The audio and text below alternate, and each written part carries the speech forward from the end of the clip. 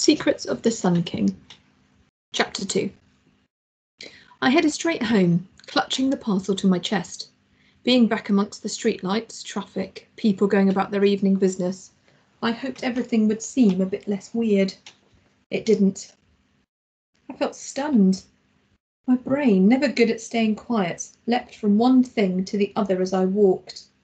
My granddad, in his younger days, had travelled to Egypt, Turkey, Palestine to buy copies of ancient relics to sell. Professor Hanawati was a Middle Eastern art expert. So did that mean this professor, this dead man, was the old friend Grandad had told me about, who'd got back in touch after all these years? He'd certainly never mentioned him before now, nor had he ever talked about mistakes from the past. I didn't want to dwell on strange coincidences, but it was hard not to, when the professor had died in such a peculiar way, and our Grandad was sick, all within the same 24 hours.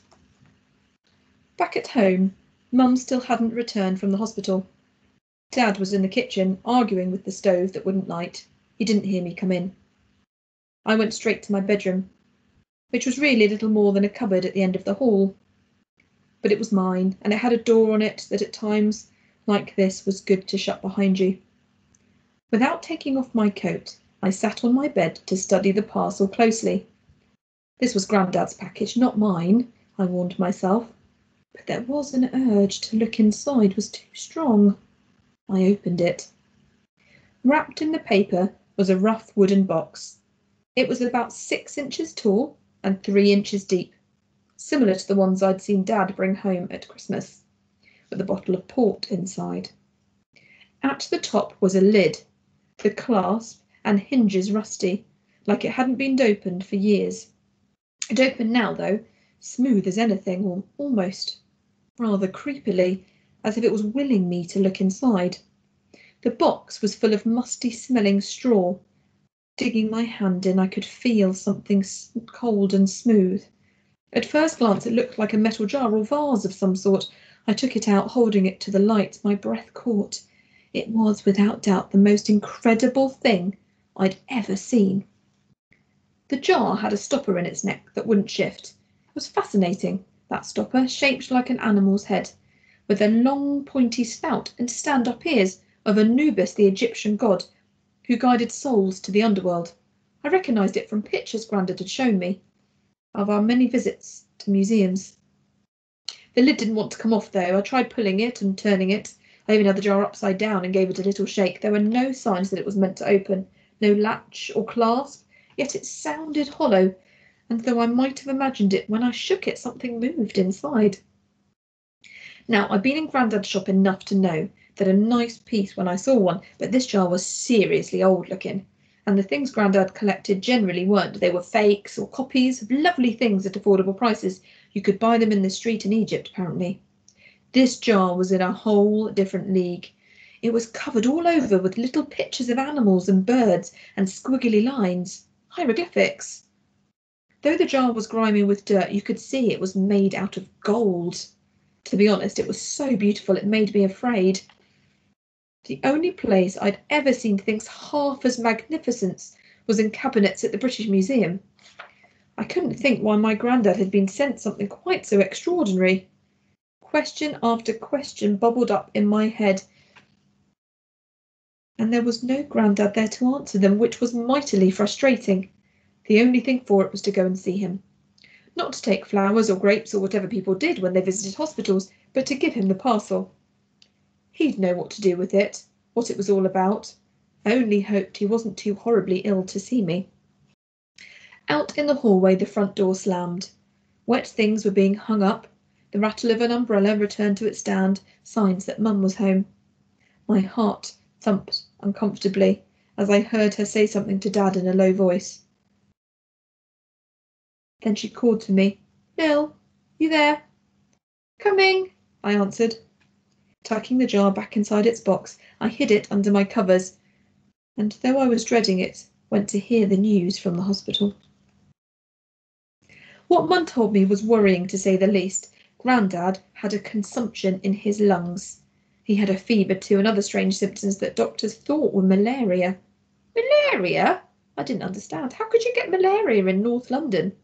He got it years ago on his travels, a flare up of an old illness, the doctor said, and what with his lungs. Mum started to cry, quietly, miserably. It made me teary too. I hated it when she got upset. Mostly it was over much smaller things than this. Stuff a smile or a pat on the arm would make better, but this was serious and called for tea. I gave Mum hers with extra sugar, which usually did the trick when she was low. How will he ever pay for the hospital? Mum sighed, teacup in hand. Dad stared broodily at the fire. We can hardly manage our own bills, love. Don't ask me to start helping your father now. Revived a bit, Mum then started fretting over me. You're not to visit him, Lil. I'm warning you, he's infectious. And Dad chipped in with, She'll be at the school, not hanging around hospital wards. So I nodded and tried to look sensible, though my mind was already made up. I was going to see him tomorrow, and they couldn't stop me. I stayed tight-lipped about the strange business with the parcel, too. Mum already had enough to worry about, and Dad, a stickler for doing things properly, would probably make me take it to the police. That night I couldn't sleep for Toffee. Worrying about Grandad was bad enough, but I'd not counted on the jar disturbing me like it did. I left the box on my chair, but every time I nearly nodded off, my eyes would ping open, and I would find myself staring at it again. Eventually I put the light on, and then my mind started playing tricks. Was the parcel moving? What was that rustling sound? Was the parcel unwrapping itself? It was stupid thinking like this, but in the end I only felt better once the parcel was out of sight under my bed. My room became familiar again too. The chair heaped with clothes, a rag rug on the bare floor, thin curtains at the window that always let in the draught. We could make it look nicer, couldn't we, eh? Mum said when we first came to live here.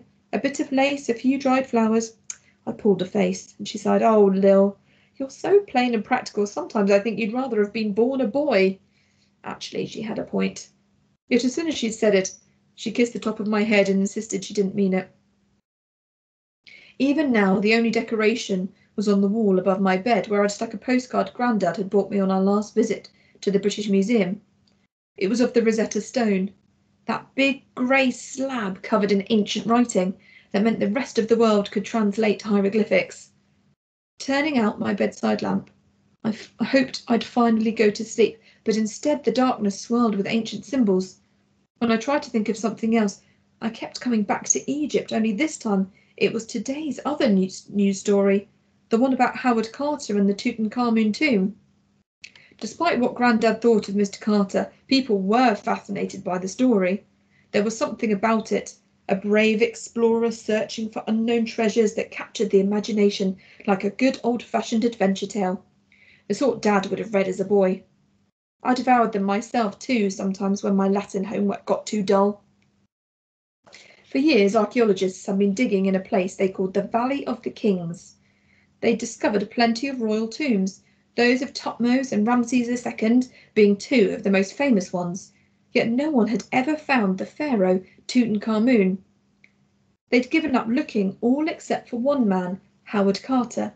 Obsessed with the missing tomb, he was back in Egypt for one last search.